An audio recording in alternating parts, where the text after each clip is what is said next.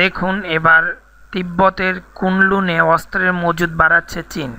তিব্বতে চীনা সামরিক বাহিনীর বড় ধরনের মহড়ার ভিডিও প্রকাশিত হয়েছিল কয়েকদিন আগে। এবার দেশটির উত্তর তিব্বতে বেশ কিছু সামরিক যান ও অস্ত্রশস্ত্র মোতায়েন করেছে বলে দাবি করেছে তাদের মুখপাত্র।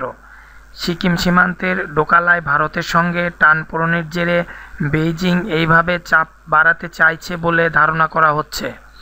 ডোকালায় প্রায় এক মাস ধরে মুখোমুখি দাঁড়িয়ে রয়েছে দুই দেশের সেনারা। তার মধ্যেই চীনা সামরিক প্রস্তুতি নিয়ে দফায় দফায় খবর প্রকাশিত হচ্ছে সে দেশের সরকারি সংবাদ মাধ্যমে। সম্প্রতি চীনা সরকারি চ্যানেলে একটি ভিডিও প্রকাশিত হয়, তাতে বড় সামরিক মহড়া করতে দেখা গিয়েছে চীনা সেনাকে। সরকারি চ্যানেলের দাবি, তিব্বতের মালভূমিতে পাঁচ হাজার ফুট উচ্চতায় এগারো ঘণ্টা ধরে ওই মহড়া চালিয়েছে সেনা। তে তাজা গোলা বারুদ ব্যবহার করা হয়েছে। আজ আবার চীনা সেনার মুখপাত্র দাবি করেছে, উত্তর তিব্বতের কুনলুন পর্বতের দক্ষিণে একটি এলাকায় বেশ কিছু সামরিক যান ও অস্ত্রশস্ত্র পাঠিয়েছে সেনা।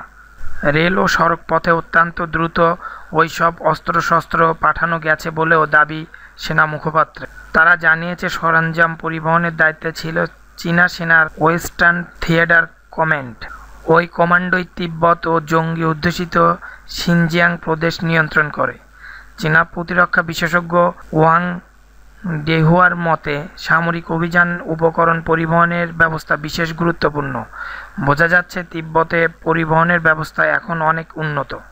ভারতীয় গোয়েন্দাদের ধারণা, সেনা মহড়ার সময়ে কুনলুনের কাছে ওই অস্ত্রশস্ত্র পাঠানো হয়েছে। তা সহজেই সিকিম সীমান্তে নাথুলার কাছে নিয়ে আসা যাবে। তাই এ পদক্ষেপের লক্ষ্য যে ভারত, তা নিয়ে সন্দেহ নেই দিল্লির। For latest news please subscribe my channel thank you everybody